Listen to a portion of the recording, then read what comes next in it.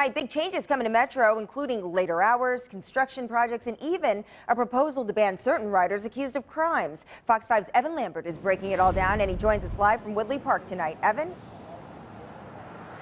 Let's tell you about a possible inconvenience. First, a tunnel ventilation project starting this weekend, and it means work here at the Woodley Park and Cleveland Park stations. That also means disruptions to the Red Line until August 29th and closures of the Woodley and Cleveland Park stations on two weekends in August. Metro says the project will enhance tunnel safety in the event of smoke or fire now on to better news. Metro will extend its late night hours now until midnight beginning on Sunday. Service job workers have been complaining about high rideshare costs and public transit closing early.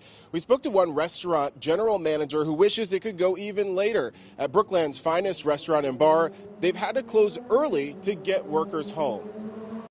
Honestly, midnight isn't good enough.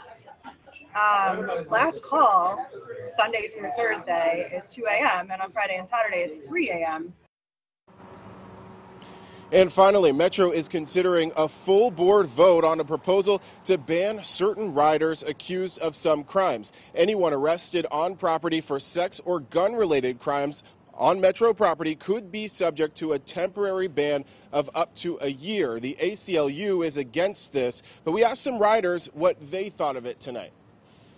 That's a horrible idea because if somebody don't got no transportation, no way, it's the easiest and most convenient transportation. You're gonna ban people? That's crazy. I don't love the idea of people being like doing indecent exposure and stuff on metros. It's not great, but I still just don't really think that's a super enforceable rule on the metro.